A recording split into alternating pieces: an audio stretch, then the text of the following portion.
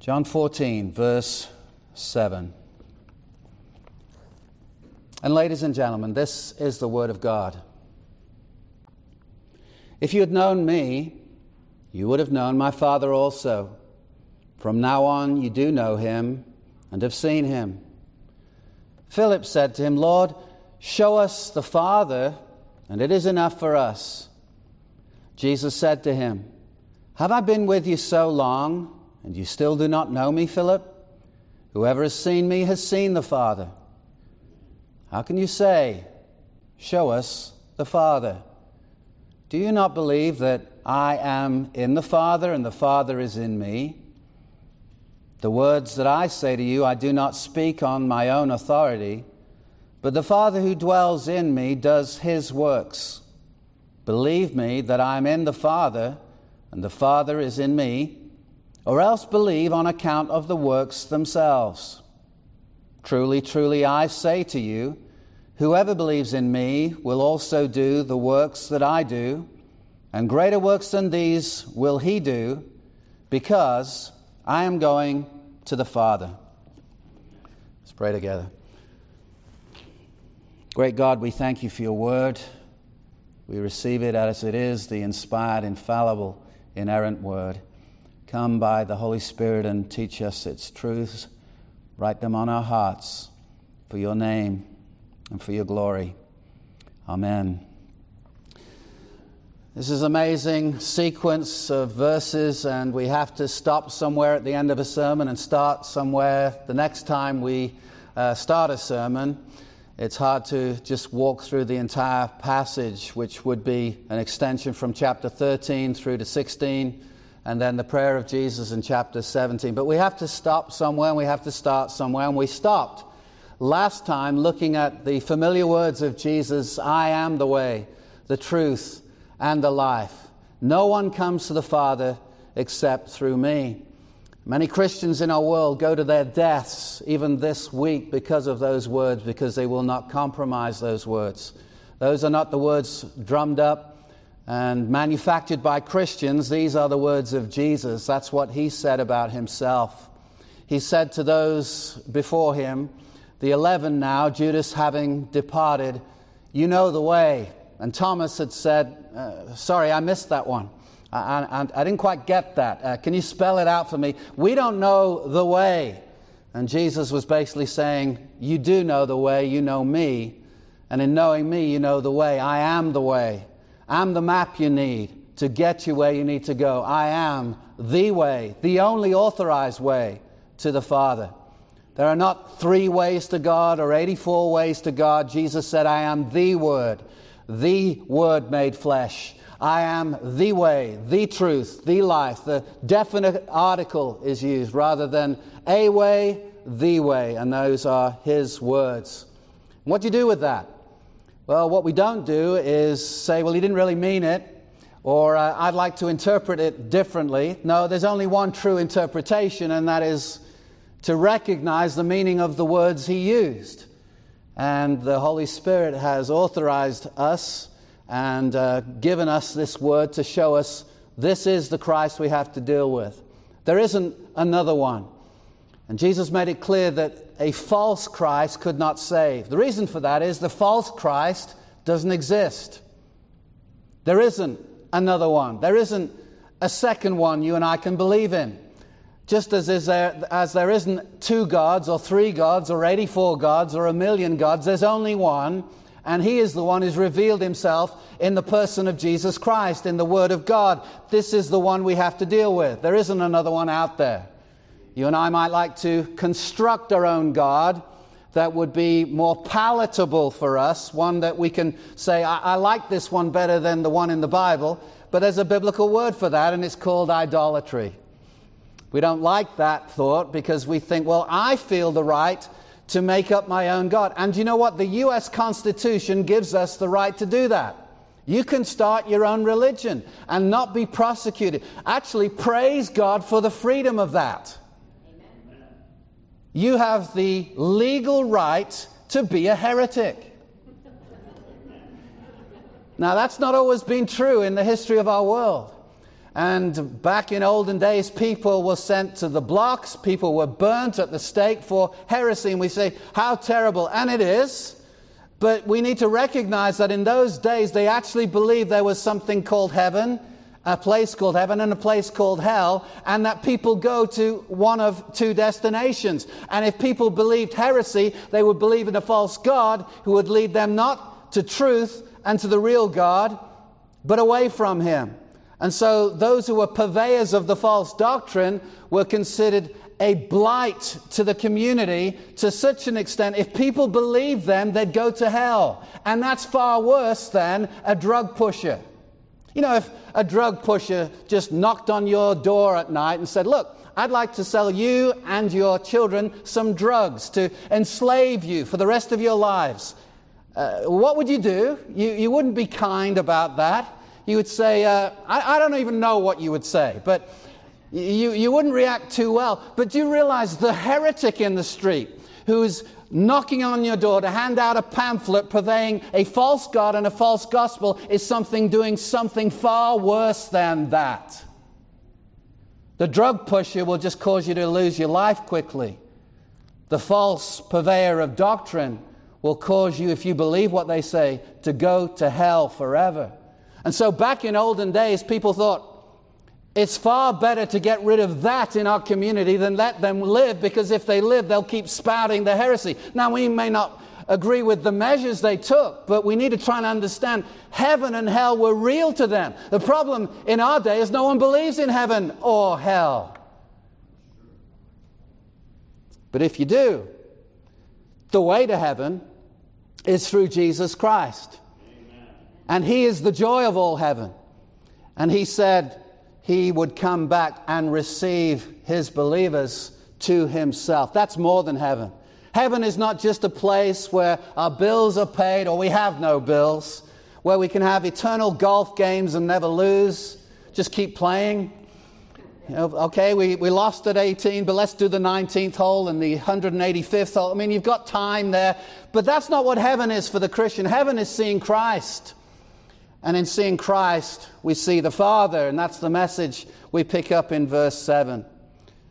Jesus said, If you'd known me, you would have known my Father also.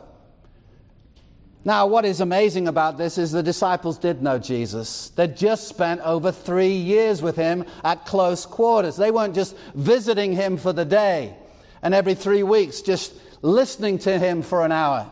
They lived the life of Jesus in the sense of they were around him all the time. When they slept, he slept. When he slept, they slept. When he ate, they ate. When he talked, they were listening. Yet they had a weak understanding of him. They did know him, but they had an inadequate understanding of him. Leon Morris writes this They had known him well enough to leave their homes and friends and livelihood to follow him wherever he went. But they did not know him in all his full significance. And Jesus was about to change all that.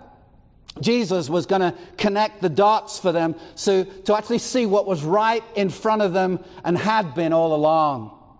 If you'd known me, you'd have known my Father also. And from now on, you do know him and have seen him, verse 7 says.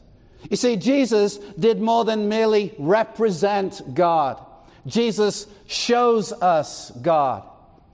Ezekiel or Jeremiah or one of the prophets could never say what Jesus said about him. From now on, in seeing me, you've seen God. You've seen the Father. But Jesus could say that because he was a prophet, but more than that. He was someone who brought the truth, but more than that. He is truth itself. So we know what God is like when we look at Jesus. I remember having a conversation with a young lady in her 20s who was doubting her walk with God and not really sure whether she wanted to continue on in the Christian faith because she had a problem with God. And uh, some people's remedy to, the, to that is, well, you just got to forgive him. That's not right.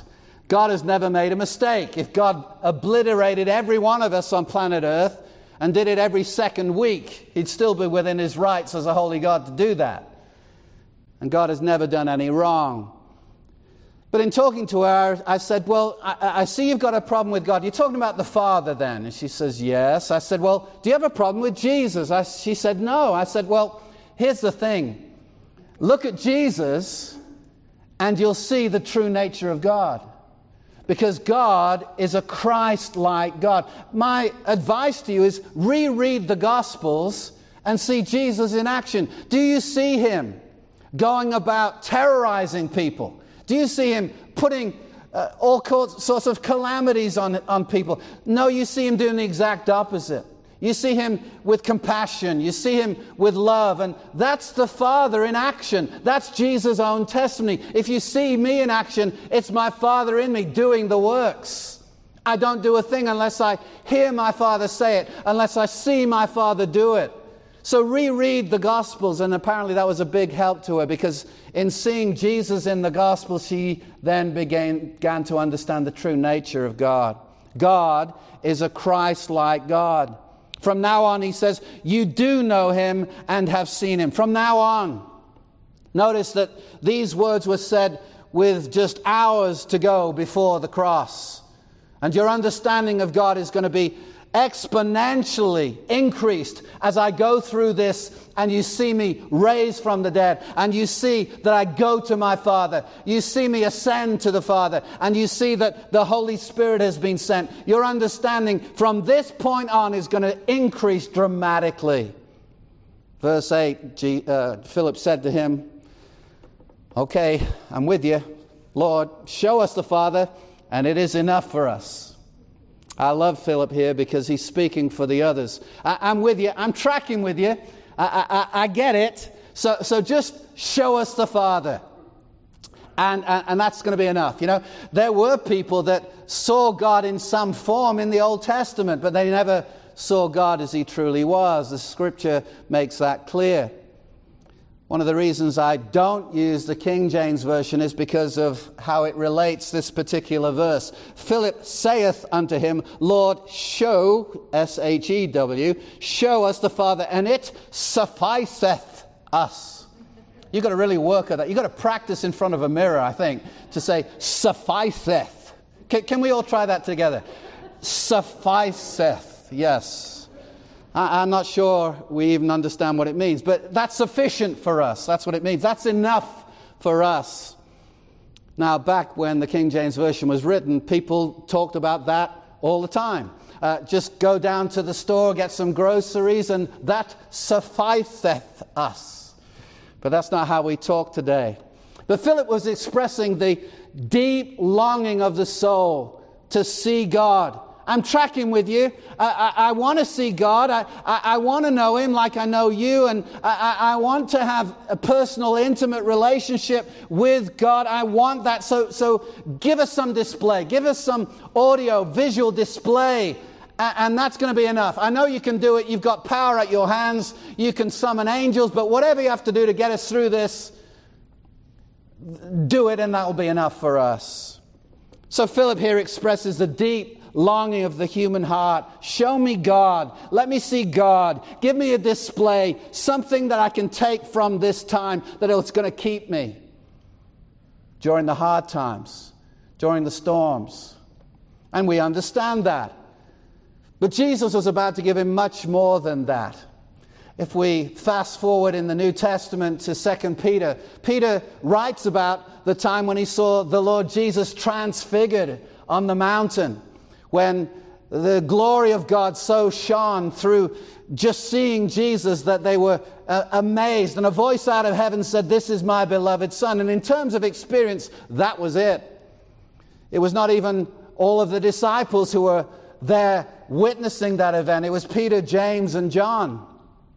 He was there on the holy mountain and he speaks of it. He saw the majestic glory and he, he unravels uh, in a few words this amazing experience. But then he says, But we have the prophetic word made more sure, to which you do well to pay attention as to a light shining in a dark place. And his whole purpose was said in terms was saying this in terms of experience, I had the big one. But when you've got the Word of God, you've got something much more sure. Some of us have had experiences and then three weeks later say, say uh, Did that really happen? And we can begin to doubt.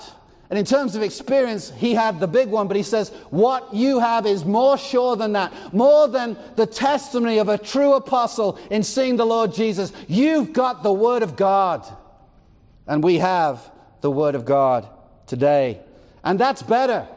That's better than the experience that Jesus could give Philip at this moment.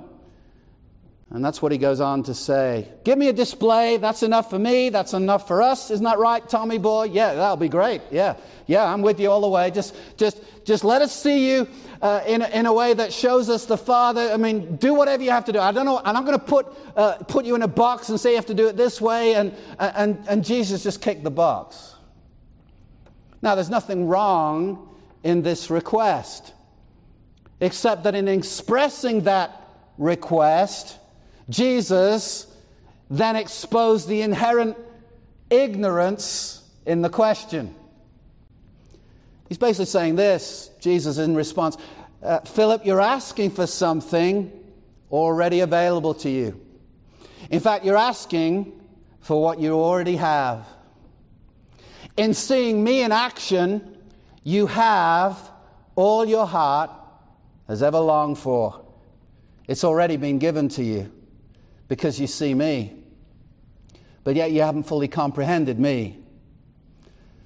I remember watching a series of lectures by Dr. R.C. Sproul called The Holiness of God and uh, was very much impacted by it. Until about 10 or 12, 13 years later, I rewatched it and realized, though I was impacted by that series, I hadn't really heard it. I hadn't really seen it. I'd watched it, but hadn't seen. There was so much there that I didn't catch first time round. And just in a little limited sense, Jesus is saying that to his disciples. You've been around me, you've seen me, you've watched me do the miracles, you've seen me heal uh, the, the, the, the, leper, you've seen me restore sight to the blind, turn, uh, t- turn, turn water into wine. You, you, you've seen it all, but you, you haven't really seen me. And in seeing me, you would have seen much more than that which is merely visible. You haven't fully comprehended me. You haven't fully understand, understood me. But now that you have seen me, something is now about to change. Look at our text. If you'd known me, you would have known my Father also. From now on, you do know him and have seen him. Philip said to him, Lord, show us the Father, it is enough for us. Jesus answered to him, Jesus said to him, Have I been with you so long, and you still do not know me, Philip? He knew him, but not as he could know him. Whoever has seen me has seen the Father. How can you say, Show us the Father? John has already made this clear in the opening chapter, in chapter 1, verse 18, where he writes, No one has ever seen God the only God who's at the Father's side, he has made him known. Speaking of the Lord Jesus, and it's a word that means to exegete. If you've seen Jesus, you've seen one who exegetes the Father. He reveals the Father. He shows us the Father as no one else can. Again, Ezekiel couldn't do this. John the Baptist couldn't do this. No mere man could, but the God man could. The Word became flesh. Now, the Father and the Son are distinct. They're distinct as persons. We read that in the first verse of John's Gospel. In the beginning was the Word. The Word was with God, side by side, pros, face to face with God, yet the Word was God. There's a unity in essence, and yet there's a distinction. The Father's not the Son, the Son is not the Father but the Son perfectly reveals the Father. It's interesting, as was read earlier in the service, Hebrews chapter 1, it speaks of Christ in verse 3. He's the radiance of the glory of God and the exact imprint of his nature. To see Christ is to see God in action. The word there is related to the word icon. The reason why God does not want icons is because, in one sense, he already has one the authorized one, the one who makes the Father known. God the Father is invisible. Let me read a couple of scriptures. Colossians 1:15. He, talking of Christ, is the image of the invisible God. 1 Timothy 1:17. To the King of the ages, immortal, invisible, the only God, be honor and glory forever and ever. Amen. The third one is 1 John 4:12. No one has ever seen God. If we love one another, God abides in us and his love is perfected in us. And back to John 1:18, no one has ever seen God. The same writer. First John as the Gospel of John. Same words. No one has ever seen God, the only God, the Son, who's at the Father's side. He has made him known. Look at verse 9 with me. Jesus said to him, Have I been with you so long? Still don't know me?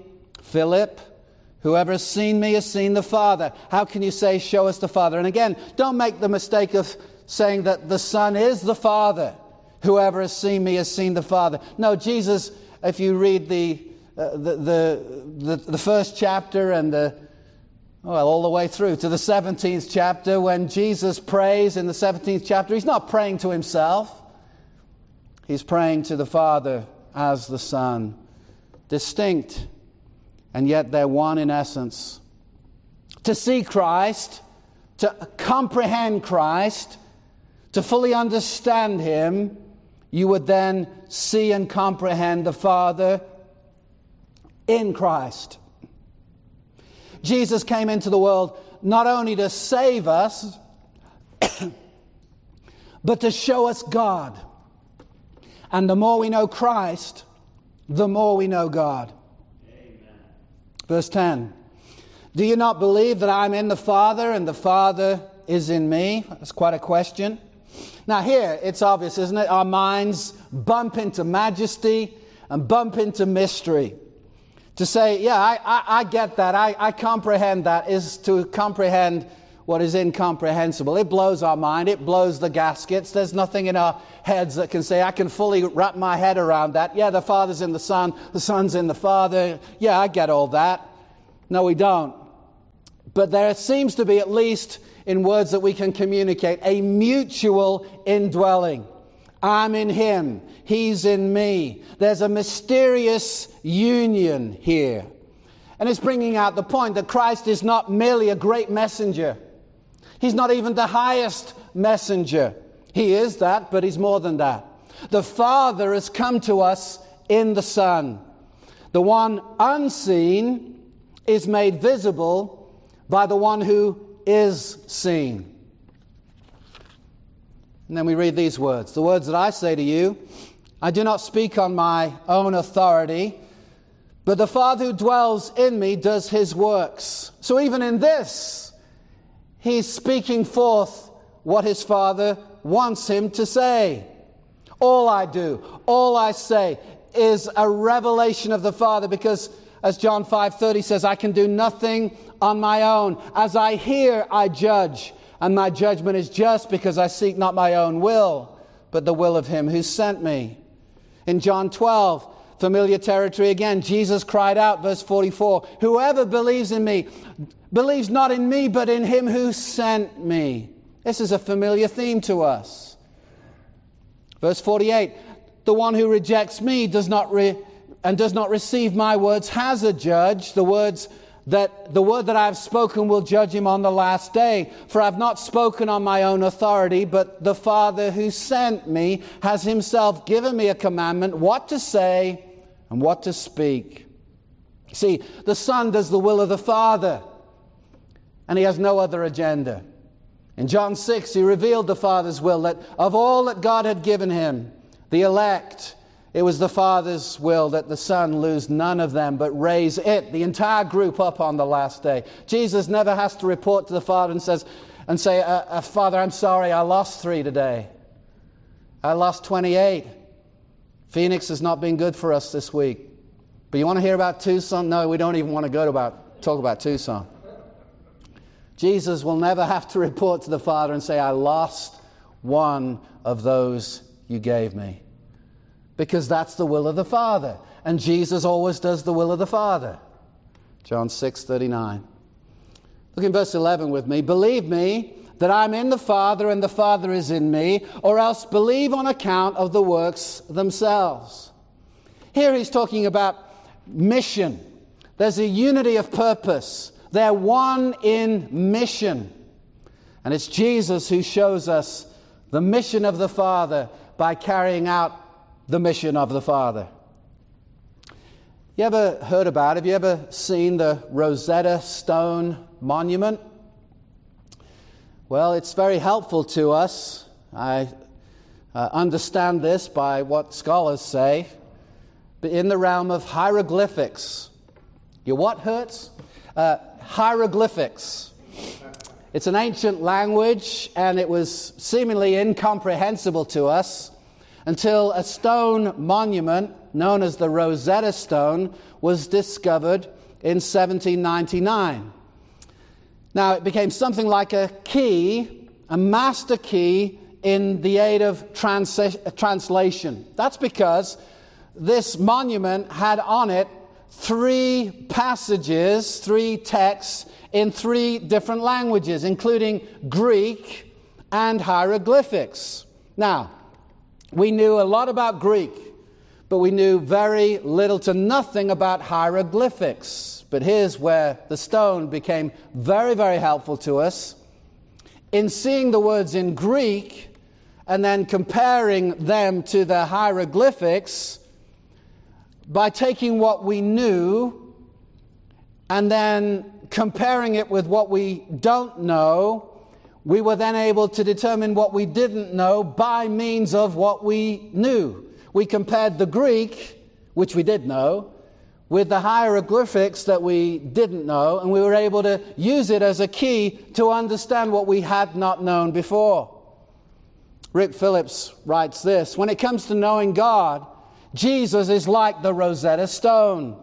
This was part of a second century BC Egyptian monument discovered during Napoleon's Nile campaign in 1799. Its value comes from being inscribed with a text in three languages, including hieroglyphic and Greek.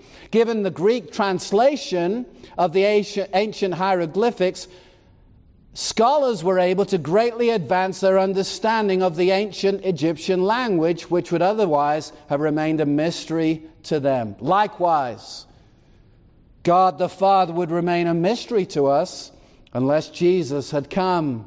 We had learned God's basic character and requirements in the Old Testament, but we could not see God and have a personal knowledge of Him until Jesus came.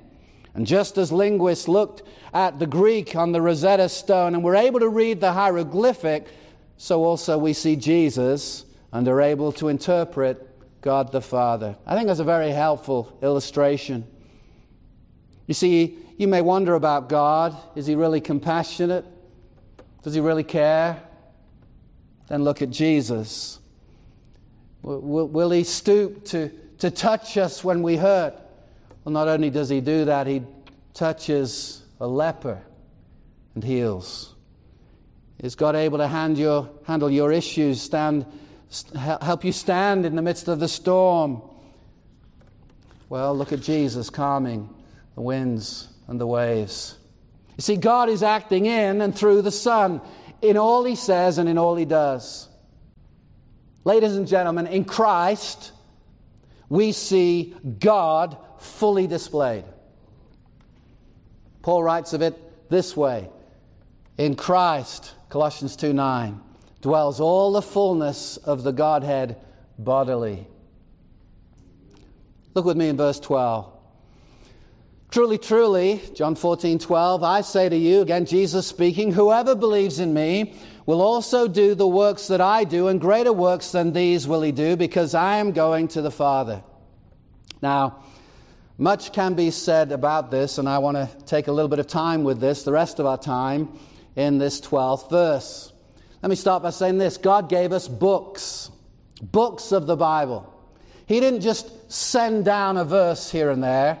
And then people say, Well, I, got verse 37. What did you get? Oh, I got verse 16. Oh, well, um, maybe if we find 17, we can put them together somewhere and, and, and compile a list of verses. No, God gave us and God inspired books of the Bible. And so, to interpret any one verse in our Bible correctly, we must find out what the setting is, find out what the context is, because we're liable to take things out of context and just hone in on a verse and not see what went before it or what came after it, what the context was. I've often used this illustration. Suppose I went for a few days, maybe a weekend, to New York in February. It's a cold time of year, and I write an email to Elder Doug and I say, uh, everything's going well, and then suddenly the electricity goes off. And the electricity goes off not only in the hotel I'm staying at, but in the city of New York and all around the region. And then it's discovered that the whole electrical grid on, in the northeast has gone down. And immediately, what was heating the hotel room and the offices and homes in the New York area now is not working, and people are quickly getting cold. And we're talking about cold to a degree that we don't experience here in Arizona. They were very, very cold. This is all uh, hypothetically, but just imagine this, and I then uh, get the computer, the little thing I've got, and it's battery operated. I can still use it without the electricity functioning, and I write in this email Doug, everyone in New York is cold tonight. Now, you and I understand now the context of those words. But imagine 500 years from now, someone somewhere in cyberspace discovers this email. It's not a parchment, it's not a papyrus, it's an email. And uh, 500 years from now, they discover John writes to Doug, and they take a little line out of what I say, and they say, John Samson said, Everyone in New York is cold. And what they do with that is then they say, well, obviously we have the doctrine of New York people not liking folk from Arizona. they are hostile to anyone from outside the state. It's obvious. How could John be more clear? Everyone, not just a few, everyone in New York is cold. I'm sure it would have been their experience in the 21st century. If they admitted that they came from out of state, they would have been shunned. They would have been sought out as to be banished from that region. They do not like people from outside the state of New York. Everyone in New York is cold, and they perpetuate this doctrine. Do you know, as silly as that is, that's what happens many times when it comes to our Bible interpretation we take a little verse out of its setting, part of a verse or part of a setting where if we just read around the words to the words before or the word afterwards, the interpretation we've come up with would not stand. And here's the problem with that. I wasn't saying that everybody in New York is cold in and on an emotional level. The context screamed cold in temperature. And cold in temperature was the true interpretation of the word cold. And anything else was a false interpretation. Yeah, but I've always believed that New York people are cold because I, I, I, I kind of read it, and, and, and that's my tradition. And, and, and I know someone who went there sometime and they felt the same way, and what do you do with that? You, you might say, well, can we read the original email uh, in its fullness? No, I'm not interested, thank you. I believe everyone in New York are cold hearted people. They're, they're hateful people. No, God gave us books, and there's a context to every verse in our Bibles. And to understand a verse, we must understand the context. So we ask questions of the text. And this is not simply for scholars, this is not for the elite who have got this gracious now gift that no one else has. No, you can ask questions. You can read the verses before, you can read the verses afterwards. And we do this all the time in our conversations. When we get to know someone and you understand where they're coming from, you, you interpret their words more accurately than a stranger. With a stranger, you say, Where's this guy coming from? When you know someone, you, you know when he talks what he's talking about. So when a promise is made, it's right to ask questions like when? When was the promise made? Who? To whom was the promise made? What? What is the promise? All right, keep your finger in or something in John 14. We'll be back. Let's go to Second Chronicles. That's quite a leap, isn't it? Second Chronicles. Yeah, let's go there. Second Chronicles. Let me read to you very familiar verse. I've seen it used so many places as prayer is being made for various different nations. I saw this used in England, it's being used here today in the States. Verse 14, very familiar to us. I could even sing this to you. I'll withhold that blessing from you. Verse 14, if my people who are called by my name humble themselves. This is Second Chronicles 7, verse 14. If my people who are called by my name humble themselves and pray and seek my face and turn from their wicked ways, then I will hear from heaven and will forgive their sin and heal their land. Amen. Now, let's ask a question Is this a verse we can claim for today? Well, can we pray and, as God's people, repent in such a way that God says, All right, all of you have repented. I'm now going to heal their land, your land. Well, let's ask the question whose land? Can folk from Belgium claim this promise? How about India? How about China? If the, if the people of China who are Christians do what verse 14 says, will, will God take communism away? Will there be no concentration camps? Will, will, will there be nothing that causes anything uh, uh, of, uh, of nastiness in the country? Will the land be healed?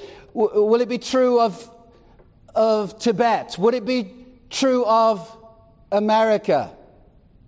The answer is no, because the promise was given to a specific people. We only have to read the beginning of the verse to understand the who here. My people who are called by my name. You see, verse 14 is in a context of a book. Read verse 11.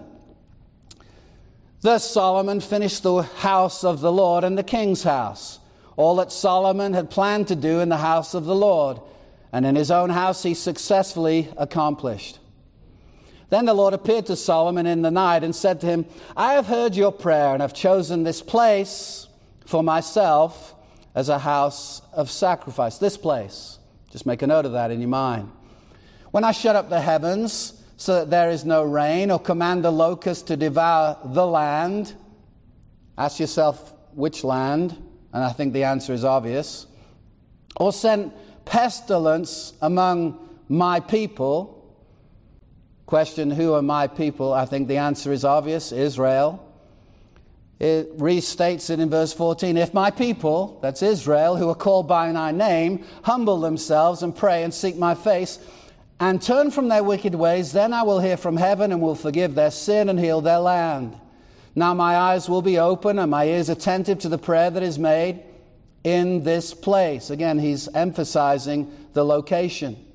For now I have chosen and consecrated this house. Underline that phrase, this house, that my name may be there. Underline the word there forever. My eyes and my heart will be there. Underline the word there for all time. I don't know how he could be more persistent in just telling us what he is talking about. Verse 17, and as for you, if you walk before me, if who walks before me? Israel, as David your father walked, doing according to all that I've commanded you, you being Israel, and keeping my statutes and my rules, then I will establish your royal line. As I covenanted with David your father, saying, You shall not lack a man to rule Israel. Why did he mention Israel? because he's talking about Israel all along.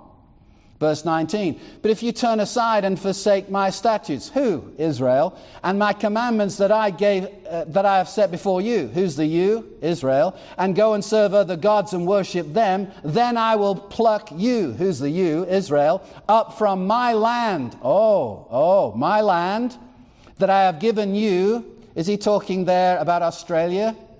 No, it's still Israel. And this house that I've consecrated for my name, I will cast out of my sight, and I will make it a proverb and a byword among all peoples. And at this house, underline that, at this house, which was exalted, everyone passing by will be astonished and say, Why has the Lord done this to this land and to this house?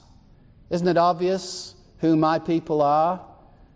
I think it is. The promise was given to a specific people, Israel. And as bad as things get, if God's people repent, God will heal that land. Let's go to another one of these Jeremiah chapter 29. Jeremiah 29, and we see these words in Christian bookstores and on Christian t shirts, and we send it. People you know, they sign their name and they put Jeremiah 29 11 at the, uh, right under their name as a promise for everybody. Well, is it a promise for everybody? Genesis, Exodus, Jeremiah. Chapter 29. Here we go. You know this one. For I know the plans that I have for you, declares the Lord plans for welfare and not for evil, to give you a future and a hope. There you go. Well, that's, that's the Bible. I'm, I, I believe that. Well, yeah, I, I believe that. I, I actually believe Jeremiah 29 11. But have we ever taken time to see who the promise was made to? Is it a promise made for everybody? Well, let's look. Here's the context Israel, you've not heeded my repeated warnings time after time, over and over. I've told you to repent, and you have not. And now, the very worst thing you can imagine is about to happen. That's right, you're under severe judgment on a level worse than your worst nightmare. You, Israel, people of God, are about to be taken against your will out of the land all the way to Babylon. In other words, though I've warned you and warned you and warned you, you've not heeded those warnings. You've said, We've got the temple. God would never do anything to, to harm us because of the temple. No, hear this I am abandoning you. I am washing my hands of you. Most of you will die in a foreign land. But here's something to hold on to I'm not abandoning you utterly. Israel, though you're under severe judgment, I have good plans for you. Most of you, if not all of you, will die. But your children and your grandchildren will be alive to see me rescue you. 70 years from now, I'll bring you back to this land. That's the context, ladies and gentlemen. Look in verse 4. This says the Lord of hosts, the God of who? Israel, to all the exiles whom I've sent into exile from Jerusalem to Babylon, build houses and live in them, plant gardens and eat their produce, take wives and have sons and daughters, take wives for your sons, and give your daughters in marriage, that they may bear sons and daughters. Multiply there and do not decrease. But seek the welfare of the city where I have sent you into exile. Do good in the city now I've sent you to, in Babylon and pray to the Lord on its behalf, for, its, for in its welfare you'll find your welfare. For thus says the Lord of hosts, the God of who? Israel. Do not let your prophets and your diviners who are among you deceive you, and do not listen to the dreams that they dream. For it is a lie that they are prophesying to you in my name. I did not send them, declares the Lord. Jeremiah was often dealing with false prophets who were giving a very nice personal word to everyone. Everything's going to be great. It's going to get better. 2020 is going to be awesome.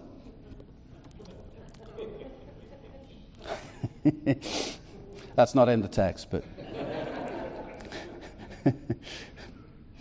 For this says the Lord when 70 years are completed for Babylon, I will visit you and I will fulfill to you my promise and will bring you back to what? This place. For I know the plans that I have for you, declares the Lord plans for welfare and not for evil, to give you a future and a hope. Then you'll call upon me and come and pray to me, and I will hear you. You shall seek me and find me when you seek me with all your heart. I will be found by you, declares the Lord, and I will restore your fortunes and gather you from all the nations and all the places where I've driven you, declares the Lord, and I'll bring you back to the place from which I sent you into exile. Ladies and gentlemen, that is the true interpretation of Jeremiah 29 11. Is it a verse for everybody? No, not at all. So someone might say, okay, well, while it may not be a promise for everyone, it's still a principle that applies to everyone. No. No, really? Have you ever thought that one through? You see, God knows the end from the beginning, right? He declares that. Actually, more than that, He not only knows it because He has decreed the end from the beginning. He knows the lifespan of everybody in this place. He knows your birthday. He already knows your death day. The psalmist wrote this Your eyes saw my unformed substance. In your book were written, every one of them, the days that were formed for me, when as yet there was none of them. Ray Comfort brings this as an analogy. I think it's very, very helpful. You've been called to go preach. Uh, and it's not 9 11 2001, it's 9 10. It's the day before the towers come down. And your assignment is to go to one of those two towers, to one of the floors, and speak to people who will be returning the next day. And somehow it is communicated to you supernaturally. An angel perhaps comes and tells you, I don't know how it is communicated, but you have of this knowledge that everybody you're about to talk to will return the next day and every one of them will be dead. Would that knowledge change what you would say? When you go with your message to preach, would it change? Would, you need to alter it? Would you still talk about eight ways to a happy life? Would you still say God has great plan? God loves you and has a great plan for your life. No, his plan is that they die in 24 hours. And that 24 hours from now, they'll either be jumping out of the window or crushed. It's hard to even face that. But if you thought that through, and if you had to make an adjustment to your message, what you had planned to say was not the gospel. You see, if you've got the gospel, it doesn't matter if it's 910, 912, 928. The gospel doesn't change. Now, here's the assignment the angel says to you. Let's again go in our imagination. You know those facts that they're all going to be dead, but you're not allowed to tell them. You're not allowed to give that information away. You know it, but you're not allowed to communicate it. You know what I would do? I preach the gospel. Amen. And I would say something like this with all the urgency and the fire in my head and heart of love for you, I urge you be right with a holy God. You and I don't know we've got tonight to even make this kind of decision. Today is the day of salvation. In fact, the Bible says now is the accepted time. Now is the day of salvation. And all of you have grieved God, this holy God, this majestic God. And he has every right to end your life at this moment, but in His grace, He allows you to hear these words and commands you to repent and believe the good news. What is that good news? That although God is holy, you have committed cosmic treason against God. But in his love for humanity, he sent his son into the world to live a perfect life, die an atoning death on the cross, be raised from the dead, And ladies and gentlemen, if you put your faith in Jesus Christ, you will be rescued from fire that is coming. I call upon you with every passion in my heart. Come to God, repent, believe the gospel. Your very eternal life is on the line. And I'd say that this day and I'd say it that day because the gospel, ladies and gentlemen, doesn't change. Amen. Amen.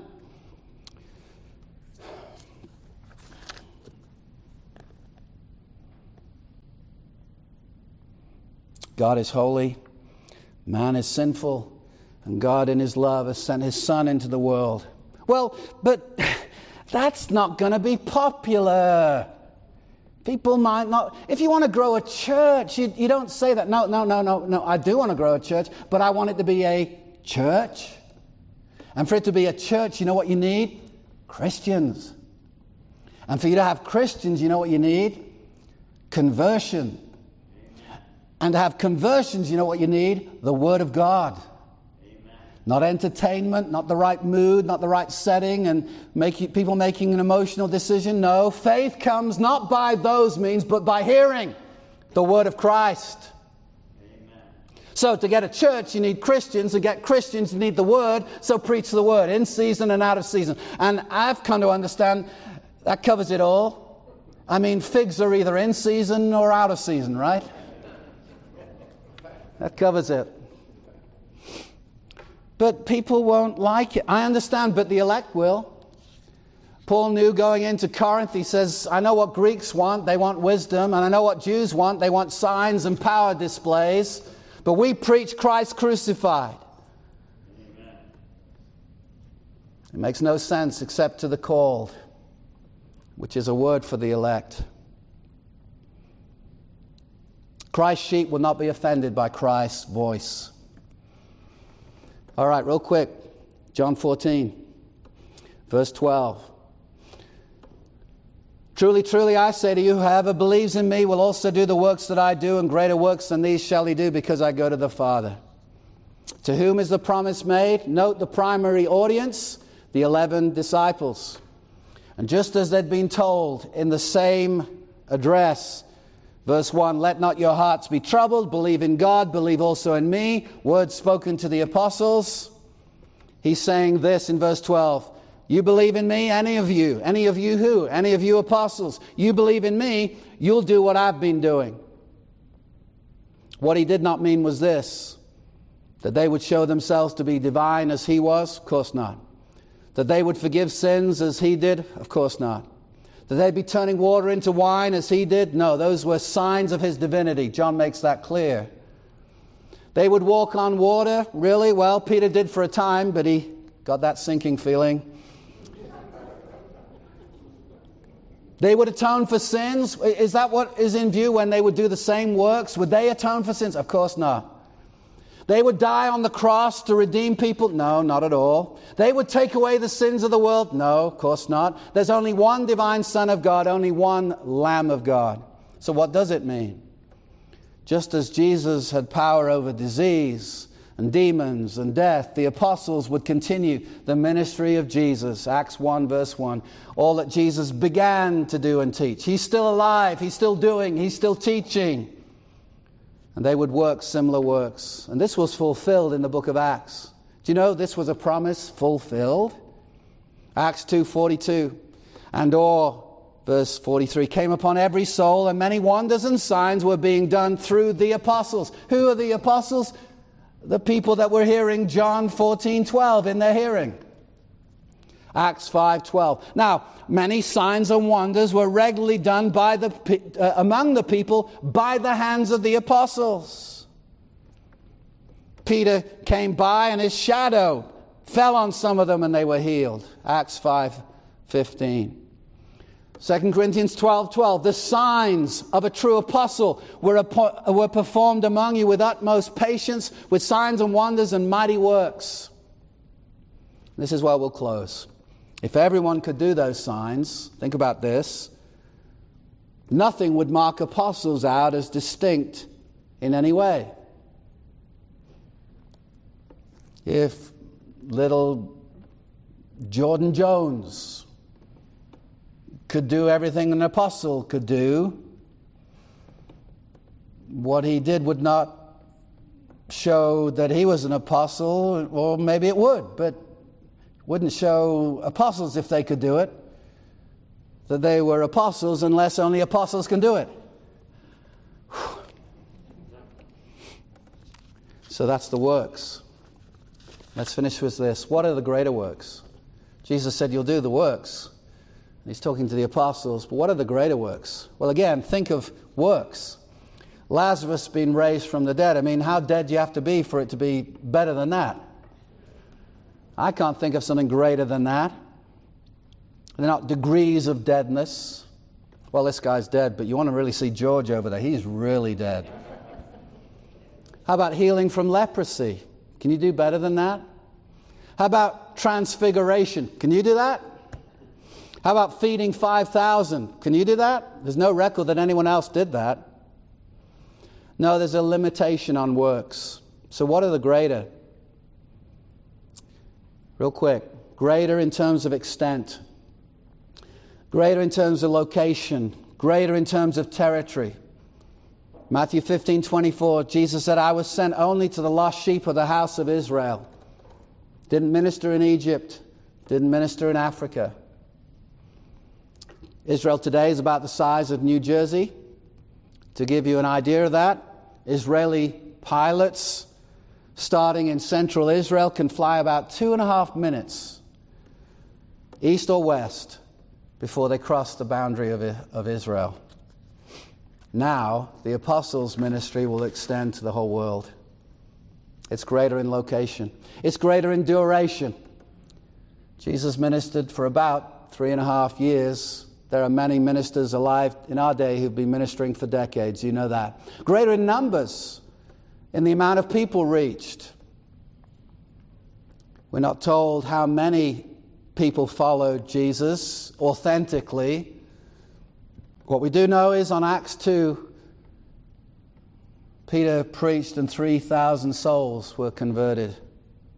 And the influence of the early church covered the entire Roman Empire and beyond in a very short space of time.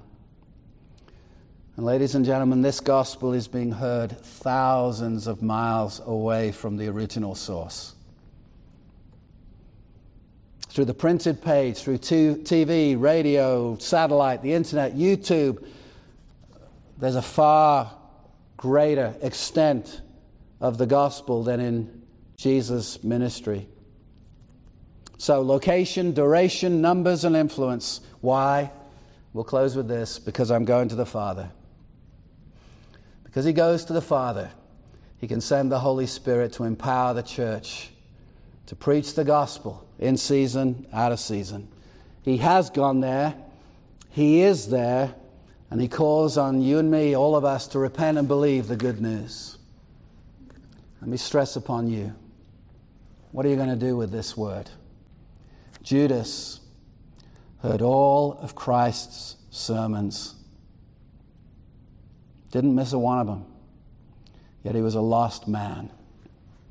What will you do with the words of Jesus today? Let's pray. Gracious God, we thank you for your word. We thank you for it being trustworthy and true.